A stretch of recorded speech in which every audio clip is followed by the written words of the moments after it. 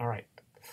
So, um, we're going to talk about the vocabulary in units 12 and 13, some highlights, okay? Um, the uh, Let's talk about the verbs here. And what they do is give you the principal parts of the three verbs, the three athematic verbs, didome, histeme, and um, which is on following page. Along with them, they give you um, some compounds. So the principal parts are, are definitely worth looking at.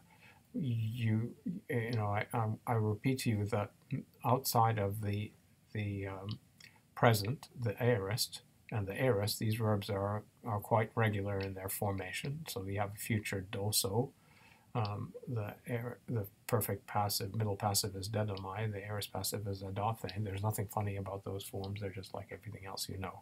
Mm-hmm. Um, and the same goes for histeme, stay so, and um, and hestamai is a little bit weird as a, but no, it's not. It's just a normal perfect middle passive participle.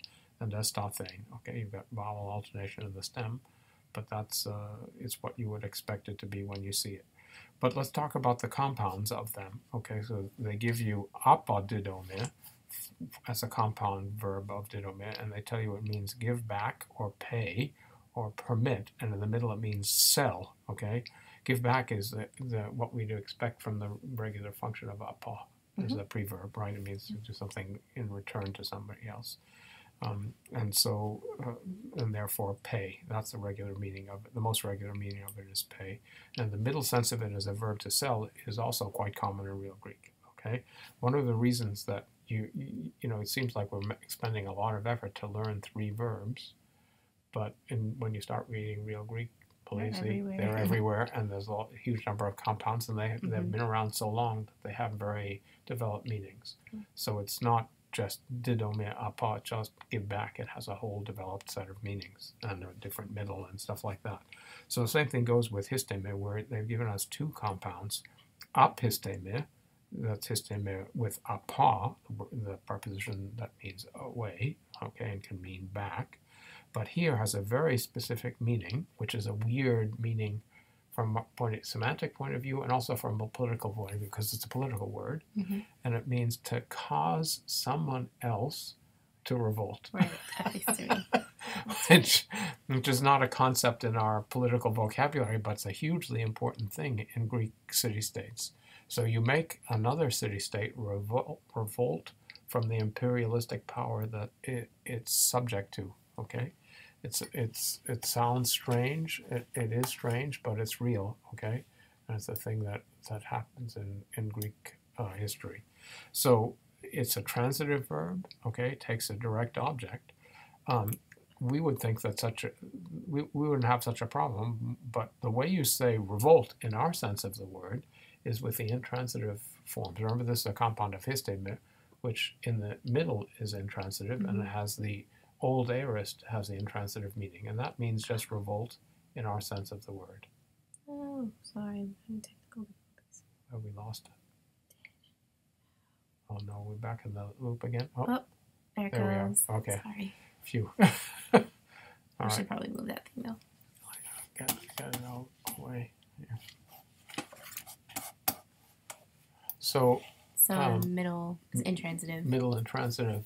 Uh, uh, middle and intransitive second and, and second aorist are both in a sense revolt, which is what we think of as revolt, but which from a Greek point of view is not such a normal use. Okay, make someone else revolt is is like, you know, Homer Simpson's campaign slogan, as when he ran for mayor of Springfield, let someone else do it. This kind of cause somebody else to revolt is a real Greek concept. Anyhow. All right, so um, the other compound of histeme that they've given us is kath histeme. Mm. That is a compound of kata plus histeme. And, and it, it's, it means to, in the active sense, okay, which is the normal one, it means to appoint someone or to establish an institution. Again, these are social and political terms. These are big time concepts in Greek's, Greek daily life. So you appoint somebody to an office, you establish a certain kind of government. This is the, the, the verb that means these things, okay? Um, so you can have a, a actually there's a hoi kathestotes, the perfect participle of kathistemi means the people who are in power and stuff like that. So you you, you come across these words all the time, but um, in the in the uh, intransitive sense, okay, Mhm. Um, which again because it's system, it, it has a pretty active transitive and intransitive just sense, sense just like. The, remember the in, the transitive ones is based on the meaning to make somebody something stand, so it Mhm. means establish something. Right. And then the intransitive sense means for something to exist. It comes to be just a verb of existence. Right. Okay, it gets refined out of out of all kinds of specializations into something general like that. Okay. Hmm. Um, the, this lesson also teaches you the special meaning of the verb kataluo, which means destroy or dissolve something. Um, it's a more common form of luo in real Greek. Uh, let's talk about the compounds of titheme. Um, what they give you uh, in, in this lesson is ana titheme. So titheme, we said, means put or place, and also means to, to, to set something in place. Uh, um, and ana titheme means to set something up, literally, but, but it has a very specialized meaning, um, which is to dedicate something to a god. Okay? And that's the most common sense of it. So you dedicate a statue, you dedicate a, a clay pot, you dedicate a clay image of a god or a goddess to the god. That's anatitheme, okay?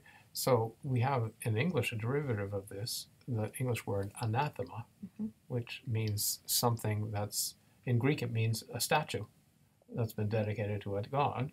So it means a pagan god, and when Christianity comes, it becomes anathema, which is Mm, something Bad. bad. right? So that's about the history of the world and the advent of Christianity. All right, the, the other verbs in this lesson, um, aside from titheme, histo, histeme, and didome, are, there's only one, I guess. Oh, there are two. There's phileo. Uh, this is finally the, Mhm. the denominative verb from philos, which means to love someone.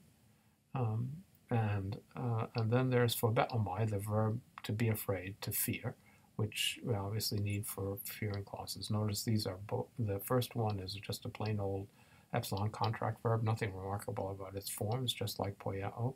Phobeomai um, doesn't have any particularly peculiar forms except that it has a aorist passive as its aorist, Yeah. a phobe.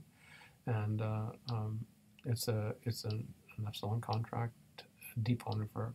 Okay? A couple of other things in this lesson are the first word in the lesson, which is a blank.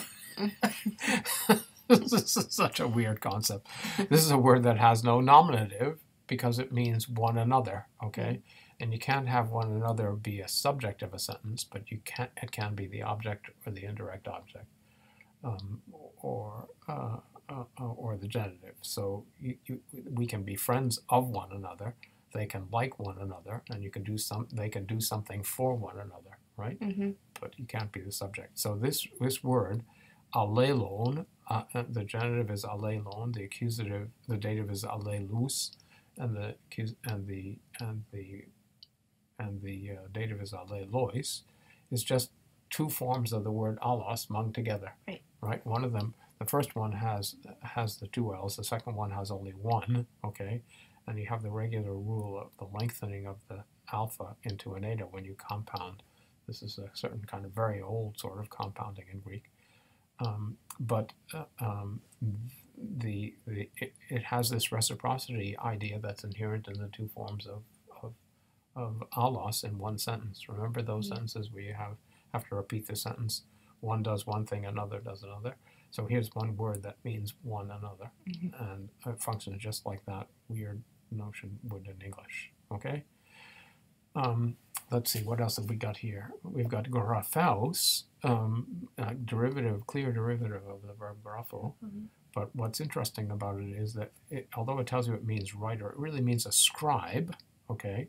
That is somebody who writes things for other people. Hmm. And also a painter, because grapho, remember I was talking about this? It means means to, to paint in the sense that you paint vases, that is to fill in spaces with color Mhm. nice nice Mhm. concept but but it's a it's a standard word for paint and then graphike is the is the um, um, is the noun what's missing here is techne hey graphike techne is really what it means so it means the art of writing of painting Okay. Um, I think you know there's more things we can say. The the the word demiurgos, which means a skilled workman, is the way it translates it. It's really an artisan. Okay, you're you're fading out of the picture. Sorry. All right. Um, it means an artisan, uh, and so that comprises healers, singers, um, people who can, with impunity, okay, in Greek city states, travel between them. Okay, so it means a person who works the demos, uh, which means the district or the neighborhood, but you can work, and he can work, he or she can work any demos. Okay. cool. Um, yeah, that's the key idea of it. So these are traveling artisans. Okay. Yeah, neat, neat concept. We got some another number. We're getting up there. We got and uh, nine. We still have one, two, three, and four, but we got five, six, seven, eight, nine, and ten now. I think. Um, uh, let's see other words of particular interest. There's the word for than, which is a, just the letter a without a rough breathing, and with an accent. Okay, with a smooth breathing and an accent. Consonant with that, we've got the the adverb malon, that means more. Mhm. Okay, or ra- rather is the limp-wristed British way of doing it, but let's just stick with more. Okay, um, and um, let's see, we got monos is a an adjective monos mone monon, which is has lots of cognates in English like monotone and monotonous and and uh, all those kinds of words. The adverb monon means only, but it's an adjective that you use predicatively, like uh, I alone. It comes after um, nouns in English, Mm. right? Mhm. So we we went home alone is an adjective modifying the the subject, but it always comes in the predicate of the sentence, and it does the same thing as that in Greek. Um, let's see. I think that that's pretty much the high points of this lesson. Should we stop there? Yep.